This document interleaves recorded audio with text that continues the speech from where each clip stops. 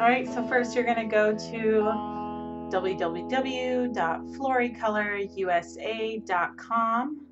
and you're going to click on FO. You're going to click on the FOS. You're going to go to the order area, enter the area. And you're going to select what you want to design. I'm going to do a book.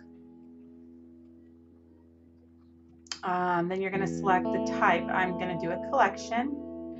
And I'm going to be creating an acrylic collection here. Then you're going to select if it's vertical, horizontal, or square. Mine is vertical. You're going to select the size.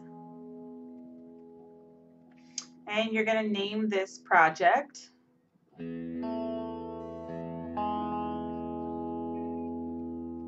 Pretty simple so far, you guys.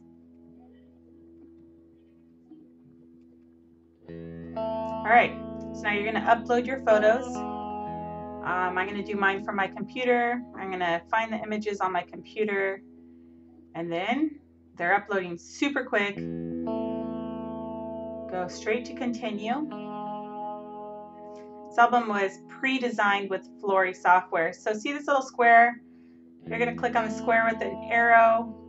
If you need to center it, you usually don't, but if you want to do anything, you can do so here. Go. And then you're going to scroll up to your page one. The nice thing about this is if things are out of order, say you decide after looking at it that you want to switch a page, you actually can just place the page where you want to. So this is actually one thing I really like about the new updated um, portion of the software is I can just change things out of order um, sometimes when designing things, you know, you design it and then realize, oh man, I really would have wanted this page before the other one. Um, this gives you the chance to go ahead and do that. So I'm just going to go through here and I'm going to, again, I'm clicking on the little square with an arrow and it's just going to put it right in. So now I'm counting uh, how many pages left and I'm going to add those pages.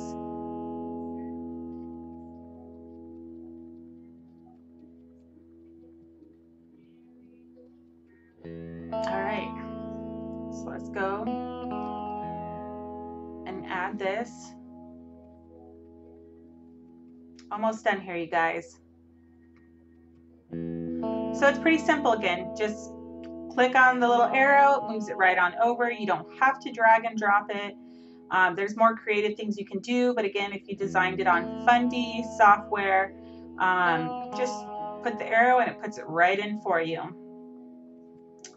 So I'm finished here. I'm going to next just scroll up, make sure um, that everything has a 1 by it, which means I didn't forget any images, and um, just check the way it looks, then go straight to order. And again, it's going very quickly, which is wonderful.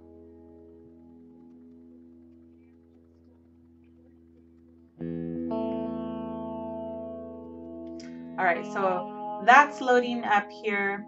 It's going to take you to the next page um, where you're going to you're going to select here if um, that you designed from another software, and you're going to select what type of um, cover material that you want to use. There's a variety of covers here. I'm actually going to be using the snake for this one, but um, this album really looks good in many covers. Um, one of my favorites is um, dark flower. I also like the ice dark silver. Um, I really like the um, down scrolling down here so I can remember the name, you guys, because I'm horrible at these names. But the other one that I like here is the Uban um, 01. That's my other favorite for this. Um, make sure the colors that you're choosing, again, represent your brand, represent the style that you're going for for your company. I choose silk paper for this album. I like the way it looks. I like the way it feels. And this is one of my album upgrades. If you're going to do gilding, select yes or no. Mine's no. Um, I'm not going to put my studio emblem on the front, so I'm going to say no here.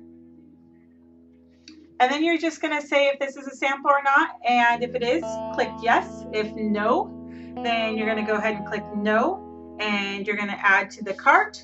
And that's it, you guys. So um, if there's any comments that you need to make or anything that you want the people designing it to know, then let them know here. And that's it.